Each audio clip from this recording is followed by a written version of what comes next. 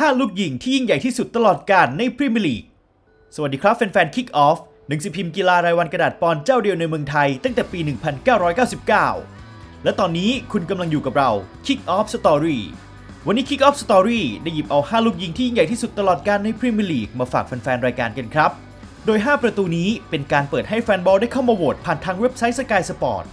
ซึ่งทางเว็บไซต์ได้นำเอาการทำประตูสุดสวย 16 ประตู จากการแข่งขันตลอด 28 ปีที่ผ่านมาในพรีเมียร์ลีกมาเปิดให้แฟนๆ ได้โหวตแล้วคัดเลือกให้เหลือเพียง 5 ประตู และนี่คือ 5 ลูกยิงที่ยิ่งใหญ่ที่สุดในพรีเมียร์ลีก อันดับ 5 การกระโดดวอลเล่ด้วยขวาอย่างสวยงามของเปาโลดิคานิโอเรียกได้ว่าบอลลอยหนีมือผู้รักษาประตูไปอย่างสวยงามครับ หมดปัญญาที่จะเซฟลูกนี้จริง ๆ มาต่อกันที่อันดับที่ 4 ลูกยิงของปาปิซิเซ่ในเกมที่พบกับเชลซี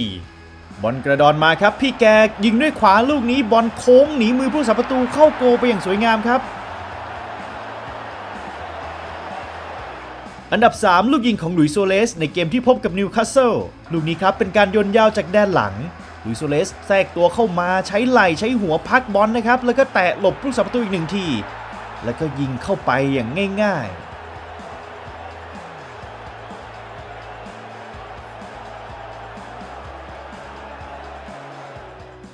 อันดับที่ 2 ลูกยิงของเวลูนี่ ในเกมแมนเชสเตอร์ดาร์บี้แมตช์ในปี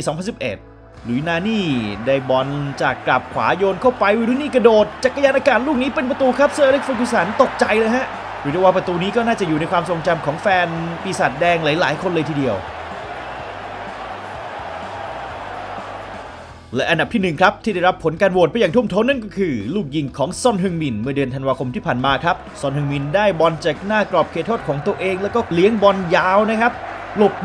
1 หลบ 2 ไปจนถึงดวลกับผู้สาประตูแล้วก็ยิงไปอย่างเหนือชั้นครับ